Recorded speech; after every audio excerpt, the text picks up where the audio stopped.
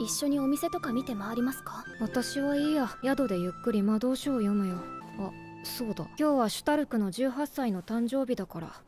Eu nunca assisti esse anime, mas por pequenas cenas que eu já vi eu me senti interessado em assistir por ser legal. E que tipo de pessoa iria querer uma porção que dissolve roupas como presente? O que essa pessoa iria fazer com essa porção? 私何も準備していませんよシュタルク様の欲しいものが分かりませんちなみにフリーレン様は何をプレゼントするつもりなんですかとっておきだよ。服だけ溶かす薬男ってのはねこういうの渡しておけば喜ぶんだよ。